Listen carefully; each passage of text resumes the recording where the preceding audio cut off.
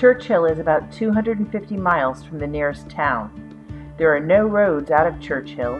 You can only reach it by train, once or twice a week, or by plane. The current in Hudson Bay carries the ice formed in the north down to Churchill. Several freshwater rivers that enter Hudson Bay near Churchill, and Churchill sits in a corner of the bay. All of these factors cause the ice to accumulate first in Churchill.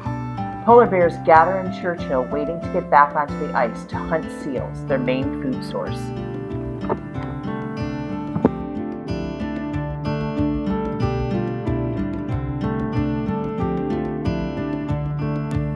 When we landed in Churchill, a fuel truck came speeding by, beeping its horn loudly and passed very close to us.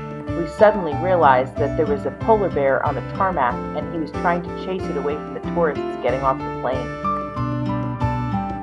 The town of Churchill only has a few hundred full time residents.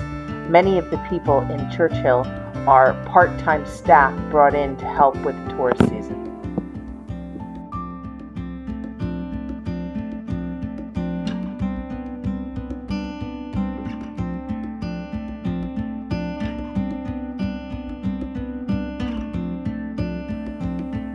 Hundreds of polar bears pass through Churchill every year, the residents need to maintain traps and a polar bear jail to keep people and bears safe. The local post office keeps a log of the number of bears sighted in town, held in the jail, and released from the jails.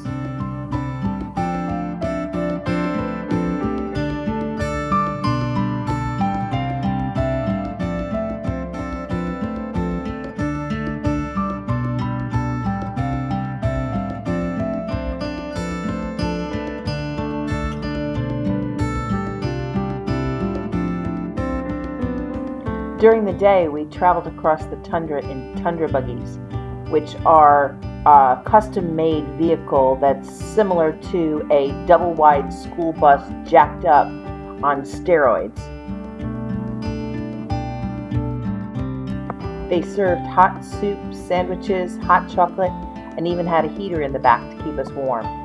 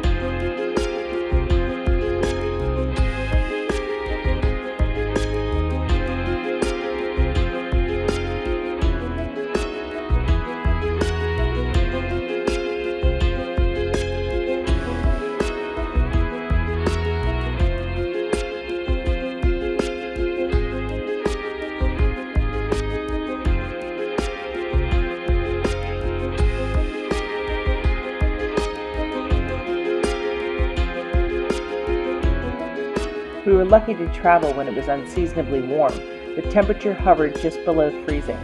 We got to see all the beautiful oranges and reds and greens of the tundra. On the third day we were there, it snowed and the landscape was beautiful.